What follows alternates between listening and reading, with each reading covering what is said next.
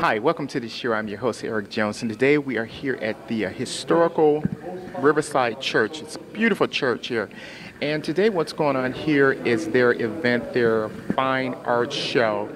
And we're going to be covering some of the artists as well as um, the, the coordinator here at the event to talk about what's going on here. So I want you to sit back, relax, enjoy the show.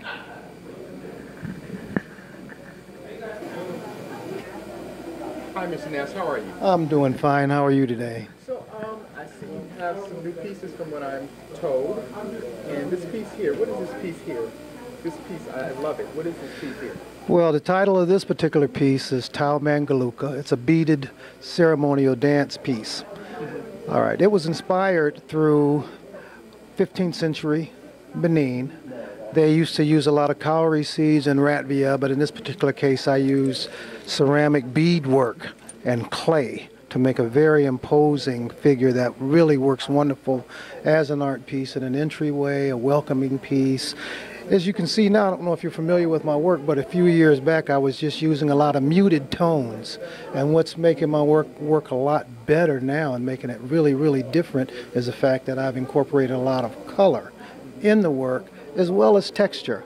This particular piece here, named Husani, it's a uh, it's a tribal image of a male warrior, but even more than that, you know, like I'm using a lot of uh, what I call stylized scarification.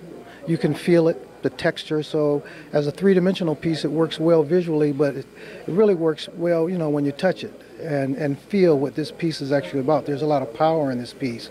I use a lot of uh, traditional Nubian features with cheekbones and protruding lips and haunch shoulders and, and things of that nature well with the, uh, the color. It's a wonderful piece. It's a, a male piece that's adorned, you know, with beadwork and everything like that. Now, again, if you move around just a little bit, I want to talk about this piece, pan around. This is Almitra.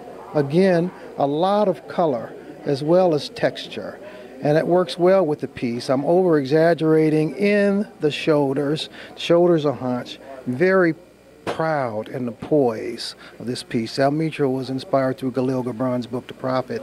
She was one of the, uh, she was the female figure that asked, posed a lot of uh, questions about life and death and marriage and things of that nature. But all my work is uh, I guess, has been inspired through life's experiences. People ask me, well, how long did it take you to, to make this piece, for example? And I have to explain to them, you know, well, you know, I'm 60 years old now, and it took me exactly that long to get to this point.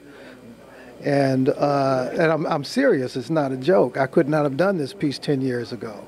So, and this right here is Raxma. Again, I'm using uh, contour lines, stylized scarification. I'm contrasting with the lights and the darks, and this is again another adorned piece, which makes it work well. The uh, the hair is braided. I'm actually corn rolling the clay to give it a really, really uh, textured look with the uh, with the hair. Romelia there is a stripe piece, tribal very uh, uh, people like to uh, call my what I do African art. I call it tribal because I'm not dealing with any particular group region at this point. It's purely decorative in, in, in what I do. So I guess that's if you have any questions, I'm I'm open. So you know they say um, I don't know if most people know the uh, the uh, painting on the body mm-hmm. was for warriors. They were going into war, you know, almost like the uh, Native Indians, they should say. Yeah, but in, in, a lot of cultures, it was for for decoration too. Now, uh, this is uh, just for aesthetic uh, purposes. Particularly in this particular piece, I'm, I'm following the contours of the body with the lines, as you can see. The lines follow the contour, and then I'm getting, I'm dealing with the contrast between the lights and the darks, the hues, you know, from this turquoise teal, you know, that fades all the way down into a black. And then it's adorned with the uh, complementary uh, ceramic beadwork.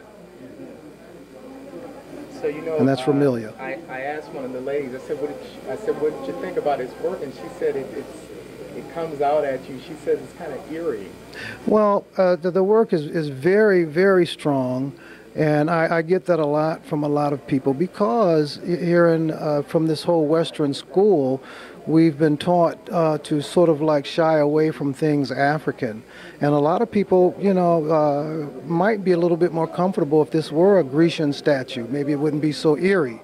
But I, I'm, I'm coming from uh, what I'm feeling, my life's experiences. And I do have to say that my work is not for everybody. Yeah, it's, but it's, it's, it's very, like you said, it's very strong. Yeah. I feel the energy from it, you know.